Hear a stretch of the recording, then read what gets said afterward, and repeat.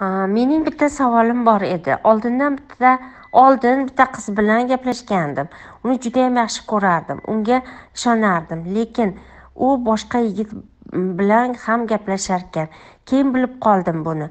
U o'shanda o'shanga turmushga chiqib ketdi. Bu judayam menga og'ir botdi. Uch to'rt oy o'zimga kelolmay yurdim. Keyin yaqinda boshqa qizni uchratib qoldim. Shunga uylanmoqchiman. Judayam yaxshi qiz. Mendan bir past kursda o'qiydi o'zim institutda o'qiyman. Lekin bitta muammo bor bu qizdan judayam shubhalanadigan bo'lib qoldim. Har narsaga ham shubhalanaveraman har narsaga uni xafa qilaveraman telefonni tekshiraveraman nima qilsam bo'ladi iltimos yordam bering. Mana sizni hayotingizda bir munosabat shakllandi. Siz kimgadir e, ishondingiz va e, u qiz sizga ishonmadi va boshqa yigitga tegib ketdi siz undan o'ch olmoqchisiz. Uni yomon ko'rib qoldingiz. O'zingizni yomon ko'rib qoldingiz. U mendan boshqasi mendan balandi bor ekan dedingiz. Va ana shu sizni hayotingizga kirgan boshqa qiz ham sizdan baland boshqasini topishidan qo'rqib yashayapsiz. Shuning uchun ishonmaysiz. Juda ko'pchilik yigit qizlar e, besh yillab birga yuradida e, to'y bo'lgandan keyin сразу ajrab ketadi. Kecha bir biri bilan uch marta uchrashgan uch marta e, uchrashadida yaxshi yashab ketadi. Sababi nima? Besh yil birga gaplashadi ammo o'rtada maqsad bo'lmaydi. Maqsadi alohida ayro. Uniki alohida uniki alohida. Faqat haligi hissiyotlari bir biriga to'qnashib qolganda yaxshi ko'ramiz yaxshi ko'ramiz deb gaplashib qo'yishadi hissiyot uchun.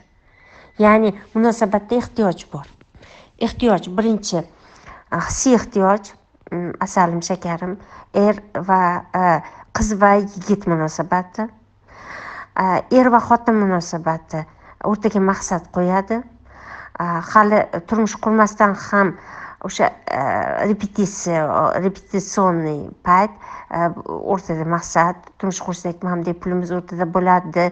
U san mayerda ishlaysan man mayerda ishlayman san ishga borib kelasan man ishonaman man ishga borib kelaman san ishonasan o'rtadagi pulni mana bunaqa qilib umumiy qilib mana bunaqa qilib plan qilamiz degan narsalar bo'ladi.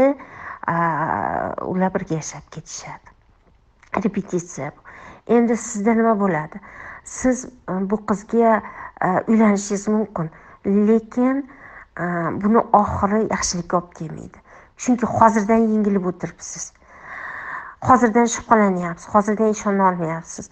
Ishonish kerakmi yo'qmi? Albatta kechagi bo'lgan voqea e, bu munosabatga ta'sir qilishi kerak emas. Kecha nima bo'ldi? O'sha bitta qizni yaxshi ko'rdingiz. U siz bilan gaplashibdi ammo boshqa yerga tegib ketdi. Nima uchun yerga kim biladi? Balkim otasi majburlagandir.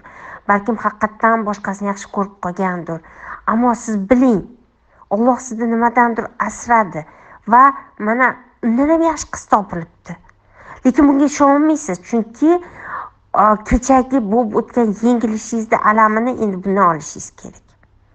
Siz alam olib munosabatga kirishyapsiz. Qanaqa bu hayot bo'ladi ayting? Bu yana ajrim bo'ladi. Yo uylanib ajrashasiz yoki uylanmasa ajrab ketasiz. Hozir e, uyga borib yoki uyda bo'lsangiz bir qog'oz olib shu bo'lib o'tgan voqeani yozing. Oxiriga xulosa yozing. Shu qizga yaxshilik tilang sizni hayotingizga kirib kelmagan qizga. Endi bu qiz bilan boshqatdan munosabat boshlang. Ya'ni oq qog'ozdan munosabat boshlang. Uni hamma yaxshi tarafini yozing. Siz o'zingizni hamma yaxshi tarafingizni yozing. O'rtaga ishonch degan so'zni yozing. Ishonch degan so'zni yozmasangiz o'rniga e, rashk so'zini yozsangiz shubha so'zini yozsangiz bu rashk emas. Rashk bu insonlarni bir biriga e, bog'laydi mehrini ko'paytiradi sog'inib ketadi bir birini qizg'anib ketadi yaxshi ko'rib. A sizni dushmanlashtiradigan narsa bu rashk emas. Bu yengilish bu shubha bu gumon bu yomon ko'rish bu nafrat. Ham nafratlanyapsiz chunki bu ham mandan yaxshirog'ini topsachi degan sizni e, qo'rquvingiz bor. Mana shu savollarga javob bering. E, yangi qog'ozga yangi e, boshiga oxiriga o'rtasiga ishonch degan so'zni yozib pallasiga ikki tarafiga o'zingiz va qiz haqidagi ma'lumotlarni munosabatlarni yozib chiqing. Oxirida xulosa shakllantiring va o'zingizga qaror bering.